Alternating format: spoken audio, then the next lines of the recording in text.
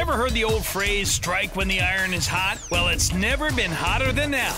All this month at Appalachian Wireless, you can get the Samsung GS6 or the GS6 Edge for just one penny when you send them for service. The Galaxy S6, normally $49.99, now just a penny. The Galaxy S6 Edge, normally $99.99, now just a penny. Strike now while supplies last. Better service, bigger savings. Serving you for the last 25 years at Appalachian Wireless.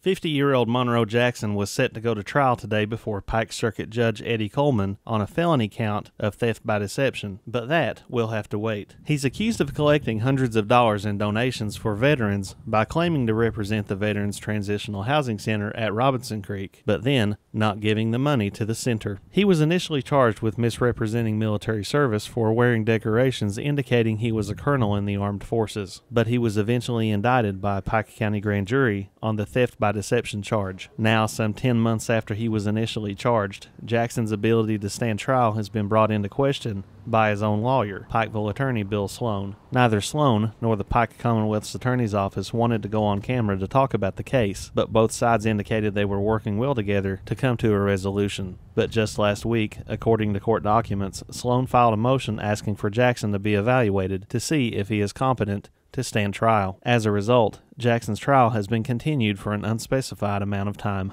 Now, Jackson's been named as a person of interest in a case in Letcher County that's similar to the one against him in Pike County.